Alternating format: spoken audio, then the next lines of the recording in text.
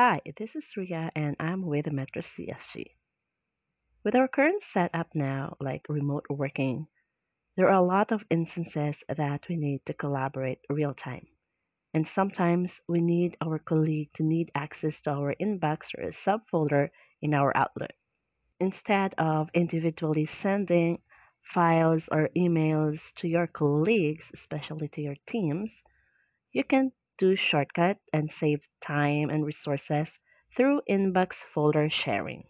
For instance, if you need your colleague to access your email while you're out of the office, or there are instances that you have time difference with your colleague, inbox folder sharing is a great help so that your team can access and continue to do their work or their tasks, while allowing limited permission to your inbox folder to make it more secured and productive.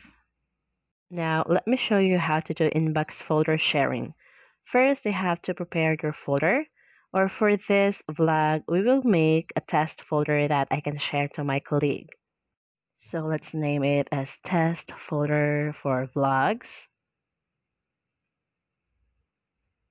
And let's transfer all the emails that I want to put in that inbox folder. This way, I don't have to send individually all of the emails that I want my colleagues to have access to. Instead, I can just uh, drag and drop it to the folder, inbox folder, that I can give permissions to my teams. To give permission, click on the folder and do right click, choose permissions, and click on the plus sign button where you can give access to your colleague. Say, for example, I want to choose John. And then you have an option to choose the type of permissions you want them to have, whether reviewer or author. And then you also have an option to give them the type of permission they have in terms of reading all the emails or deleting that. Just check or uncheck and then click OK. So add subfolders in your inbox folder and you can also give permissions to each subfolders that you have.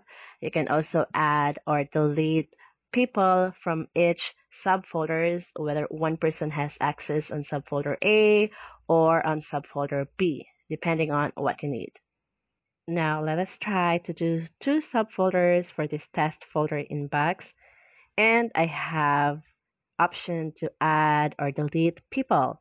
If you want to delete, just click on the email list or the name and then choose the delete sign and then click OK.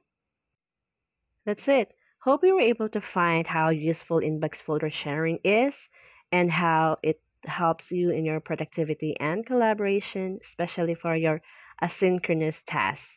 And also, it is very secured and it helps you collaborate real time.